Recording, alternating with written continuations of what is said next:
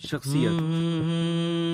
समाजी एतबार से आपको आमतौर पर दो किस्म के लोग मिलेंगे। एक वो जो लोगों में आसानी से घुल मिल जाते हैं दिल खोल कर हँसते कह कहे लगाते हैं और बहुत सारे दोस्त रखते हैं। ज़्यादा लोगों में खुश रहते हैं। और दूसरे वो जो खामोश तबीयत होते हैं गिनती के लोगों के साथ उठते बैठते हैं तन्हाई पसंद होते हैं ये शख्सियत की दो अकसाम हैं और ये आम तौर से वक्त के साथ नहीं बदलती।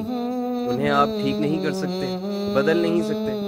अगर आप और आपकी ज़िंदगी का साथी बहन भाई या दोस्त दो अलग किस्म की शख्सियात रखते हैं तो इस बात से लाइलमी अक्सर मसाइल पैदा कर देती है। गलत फहमियों को जन्म देती है।